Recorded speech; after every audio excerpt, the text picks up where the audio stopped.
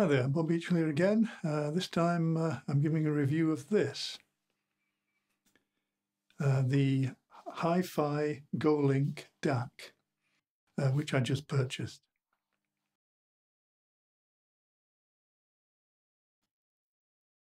So I've wanted to buy uh, an external DAC for a while uh, so that I could listen to the really high-res uh, Apple Music lossless files, the one that go up, the ones that go up to 192 kilohertz, 24-bit. Uh, I'm able to listen to ones up to 96 uh, hertz, 24-bit, uh, using my MacBook Pro or my Mac, Mac Studio. But I wanted to be able to listen to the the very high res ones, which uh, requires an external DAC. Uh, and in fact, uh, if I wanted to listen to even the the, the sort of 96 kilohertz ones uh, on my iPhone, for example, that needs an external DAC. So I wanted one for a while, but given how much I'd probably use it, which wouldn't be uh, every day necessarily, um, I was reluctant to pay over £100 for the ones that I'd looked at that had got good reviews. But then I saw a review of this, the iFi GoLink, uh, which only costs £59 here in the UK, $59 I think in the US. And the reviews I read were all very complimentary, so I, I uh, immediately uh, bought one. And I have to say, I'm very, very pleased. I think the reviews are correct. It's an excellent little DAC. The sound quality is very good.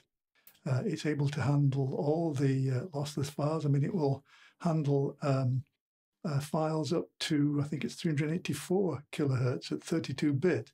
Uh, I'm not sure where you'd get such files. Um, uh, Apple lossless uh, music files, of, uh, the highest they go up to, as I say, is 192 kilohertz at 24 bit.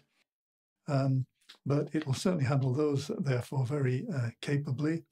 Of course, it will handle files with a lower um, sample rate uh, CD quality and 96 kilohertz and so on. So it's very versatile. It'll also handle other formats besides um, what are known as PCM files, which is the, what, what Apple lossless files are.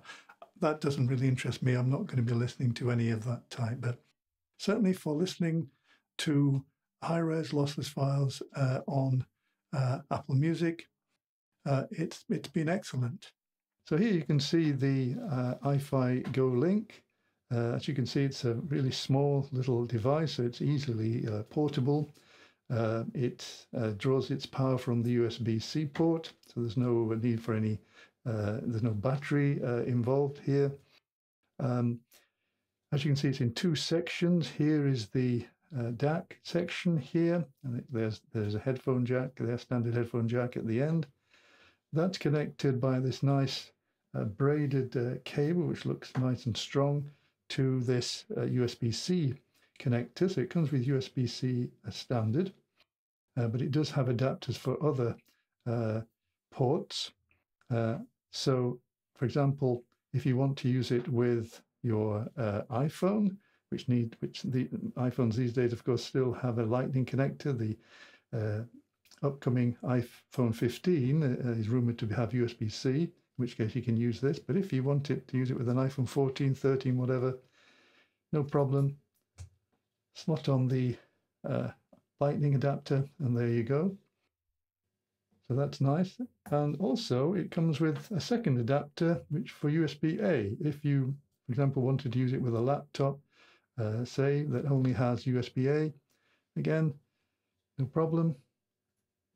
Stick it on and there we go. So that's really nice that iFi supply those two adapters. So it pretty much covers all bases. USB-C, Lightning, USB-A. Uh, one of those three should certainly be uh, what you, you, you need. Um, the other thing I want to uh, mention finally is this uh, little LED light here. You can see that there um, on the DAC section.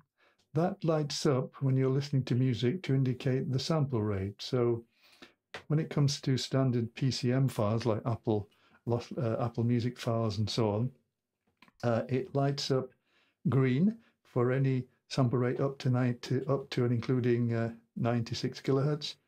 It uh, for anything above that, up to 384 kilohertz, as I said, it will go up to 384. Uh, it lights up amber.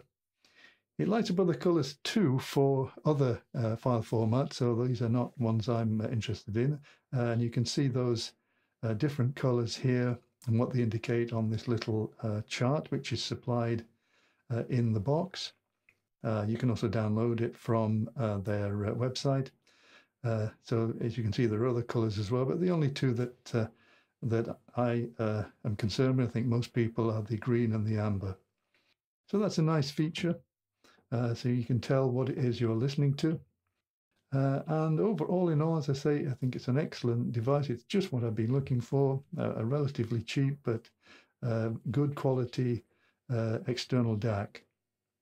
So overall, then, uh, I got to say, I think it's an absolute bargain. This at, for, for the price. It the sound quality is more than good enough for me. You do notice a difference. I have to I have to admit, I don't think the difference, certainly not to my ears, the difference between uh, an ordinary um, compressed Apple Music file uh, and the higher res lossless ones is is um, highly significant. But there is a difference. You do notice uh, greater clarity. Uh, you, you, can hear the instruments uh, more clearly, the individual instruments. There, there is a there is a difference. It's not dramatic, as some people claim, certainly not to my ears, but it, it is there. So it's nice to be able to listen to these, uh, to my music at the highest possible uh, resolution.